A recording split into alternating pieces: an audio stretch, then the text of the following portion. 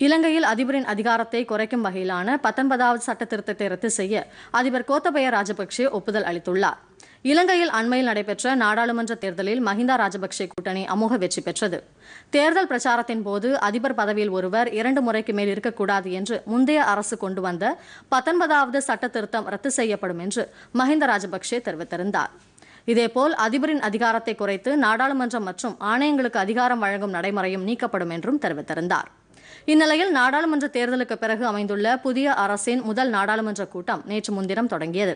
இதில் அரசின் கொள்கை முடிவுகளை நேற்று வெளியிட்ட அதிபர் கோத்தபய ராஜபக்சே பத்தொன்பதாவது சட்டத்திருத்தத்தை ரத்து செய்வதாக தெரிவித்தார்.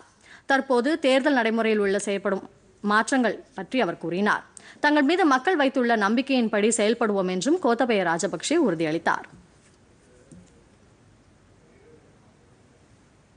பொதிகை செய்திகளை யூடியூபில் தமிழ் நியூஸ் தூர்தர்ஷன் என்ற சேனலிலும் முகநூலில் டிடி பொதிகை நியூஸ் என்ற பக்கத்திலும் ட்விட்டரில் டிடி நியூஸ் சென்னை என்ற பக்கத்திலும் இன்ஸ்டாகிராமில் டிடி பொதிகை நியூஸ் என்ற பக்கத்திலும் காணலாம். மேலும் உங்கள் கருத்துக்களை Podhigai DD news at Gmail dot com என்ற மின்னஞ்சலிலும் தெரிவிக்கலாம்.